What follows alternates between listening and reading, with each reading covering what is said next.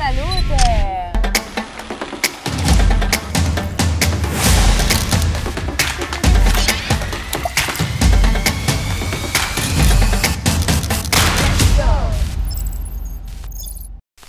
Ciao, buonasera. I'm Denise from Devour Tours. I am a Rome local and a food and wine lover. I'm about to enjoy my favorite time of the day. This is the aperitivo time. But I cannot do this alone. I need to invite a friend. She's Fernanda. She is an aperitivo expert. Ciao Fernanda. Buonasera. Buonasera. Today we're going to enjoy aperitivo time. What is the aperitivo you say? It's that blissful moment when you finish work and you start enjoying your personal time. Are you ready? I am ready. Let's do it.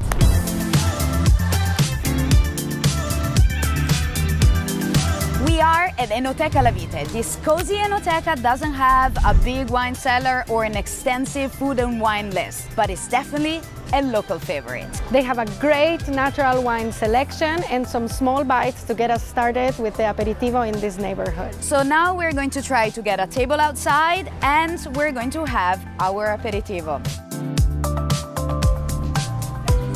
Allora vorremmo due calici di bolla naturale.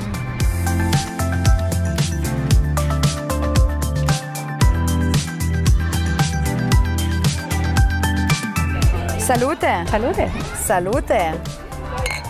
An enoteca is a place where you can uh, get a glass of wine, you can get a bottle, but you can also buy a bottle if you have some friends they're inviting uh, you and you need to bring something, you can get it here. The difference between getting it here and getting it maybe in a supermarket is that this has been hand-picked by the owner, in this case Julia. So you will get a very exclusive and special bottle of wine. This very place is focused on natural wines.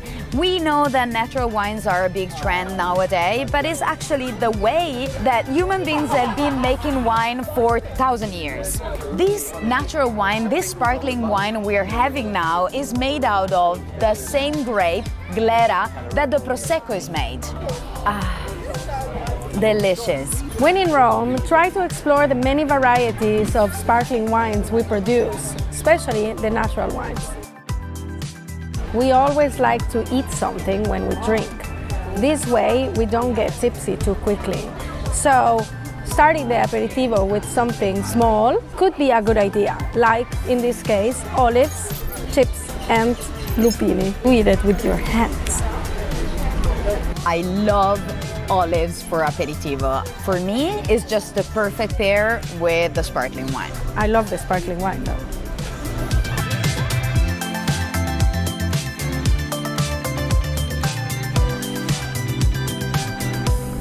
This aperitivo is going to be a standing up, a very casual aperitivo in a very popular bar right behind us. This is a place where a lot of locals, but not only, also a lot of tourists are gathering here. What is the national sport in this square? People watching. If you come here from the morning to the afternoon, you're gonna see people playing cards, you're gonna see locals, you're gonna see people falling in love. There are a lot of things going on here and we cannot wait to show you the place inside. Andiamo! Buonasera! Fatti due spritz, Due uno spritz. Aperol, uno Campari. Molto bene.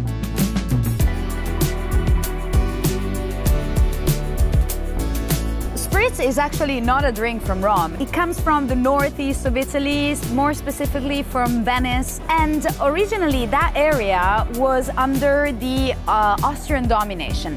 When the Austrians were there, they were more used to beer and they found their white wine a little bit too strong. So they were asking for a spritzen, which means a splash of sparkling water or a water to dilute a little bit this strong white wine. At the very beginning of the last century, Venetians start to add bitter insides such as uh, Aperol, Select, Campari, because for them it was very important to make it more alcoholic. I'm having a Campari spritz. Uh, this is a little bit more bitter and a little bit more alcoholic. Mine is Aperol, which is a little bit more sweet and definitely alcoholic. as you can tell.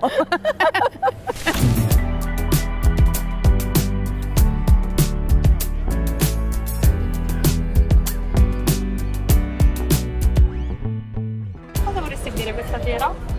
Io un calice di bianco. Bianco secco, leggermente occupato. Secco. Eh, un bianco secco, una bella acidità e una bella sapidità. We are at La Latteria. This is another uh, super local place. We are on a side street of Trastevere.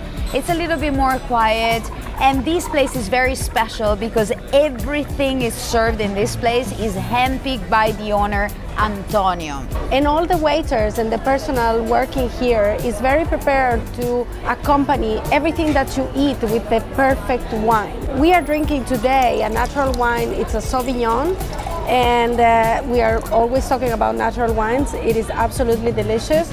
We have two bruschette here to accompany our wine. One of them has burrata and anchovies. The other one has lardo and honey. The fat part of the back of the pig that is surrounded by a very strong muscle. It comes warm, so the fat of the lard will melt a little bit this is a bruschetta with uh, burrata and anchovies. The burrata is a very fresh cheese that comes from Puglia region. It is a mixture of mozzarella bits and cream placed on top of a crusty bread with the savory anchovies on top. Our next drink is going to be a delicious craft beer. Yes! Andiamo! Let's go! Our next aperitivo won't happen in one place. We are going to get our beer from one place that is super famous for their craft beer and we're going to get the food from a different one. They are going to bring it to us while we are sitting in the street drinking our beer. So this is uh, the list of beers they have. It does change pretty often. What we're getting is a craft beer from Italy. It's called Vento Forte, which means strong wind. We're going to give you more explanation about why we're ordering beer and not wine in Italy. Eccole qua ragazzi. Grazie mille. Wow. Ciao. Volevamo una lasagna fritta, ci sediamo al Macche. Ci vediamo al Macche. Grazie mille. Ciao. The real local way is that you get your beer and you just sit here and again you do people watching. Grazie mille. Grazie. Now it's time to unveil you what we ordered. This is insanely good. This is fried lasagna. Layers of pasta, meat sauce, together with tomato sauce, bechamel, and mozzarella, then it's breaded and deep fried. Have you ever thought about something more delicious? A fried lasagna together with a fresh beer is the perfect pair ever. The world of craft beer in Italy is huge. We have a lot of options and we have great pairings for beer. We tend to pair fried food with craft beer. And everywhere, everywhere in Italy, we will produce some kind of a craft.